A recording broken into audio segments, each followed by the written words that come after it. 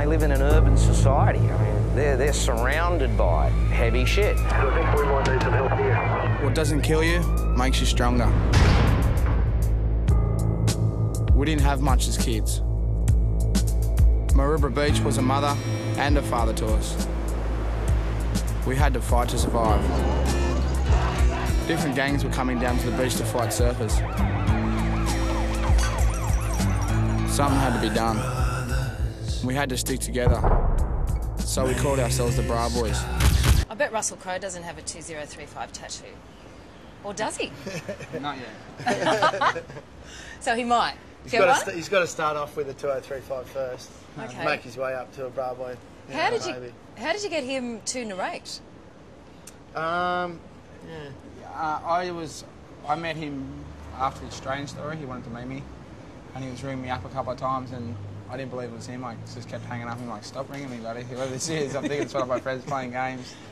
And then he emailed me. I did the same thing. He seriously, stop. I'm starting to get pissed off. Stop, stop doing this.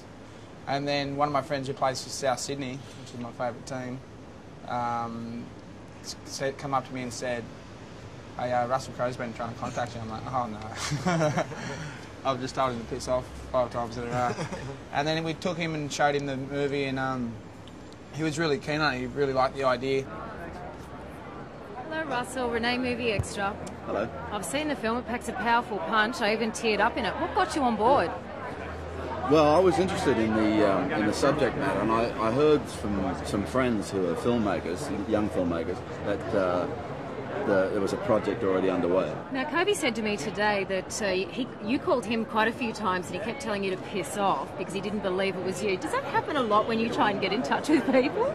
Um, it's, it's happened occasionally, um, but he was really funny because I was emailing him too, you know, and he just wouldn't answer the emails because he thought, oh, someone's just pulling my leg, you know. And then he did answer one email, you know, quite aggressively. So I answered him even more aggressively, and he answered back, "It must be you."